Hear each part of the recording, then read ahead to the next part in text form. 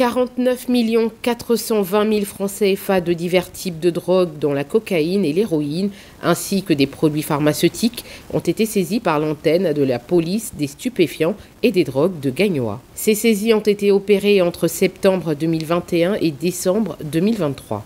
Il s'agit de cocaïne, d'héroïne, de cannabis et surtout de plaquettes de tramadol qui constituent la base du cocktail Kadhafi, une des drogues prisées par la jeunesse aujourd'hui. Le substitut du procureur de la République près la section du tribunal de Gagnois, Aquaquasi Gaël, a salué cette performance des forces de l'ordre. Notons qu'une dizaine de pipes a fumé la cocaïne, des plaquettes de Tramaking ainsi que de diazépam et plus de 3,5 tonnes de médicaments de qualité inférieure ont aussi été saisis. Ces produits ont été incinérés sur le site de la décharge publique de Gagnois en présence du substitut du procureur.